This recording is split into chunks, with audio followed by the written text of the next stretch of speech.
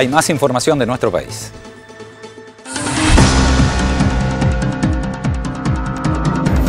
Lo mataron para robarle la moto. Esteban Solano, de 32 años, recibió ocho balazos al resistirse a un asalto en Lomas de Zamora. Hay cinco detenidos, dos de ellos menores de edad. La víctima trabajaba en un bar de un canal de televisión porteño. Desde el jueves, el kilo de pan a 10 pesos. El Centro de Panaderos asegura que varios negocios de La Boca, San Cristóbal, Parque Patricio y Belgrano ya cumplen con la norma. En dos días deberán acatar la regla a los supermercados. ¿Dónde voto? A partir del viernes se podrán consultar los padrones definitivos vía internet, por teléfono o personalmente en la Secretaría Electoral.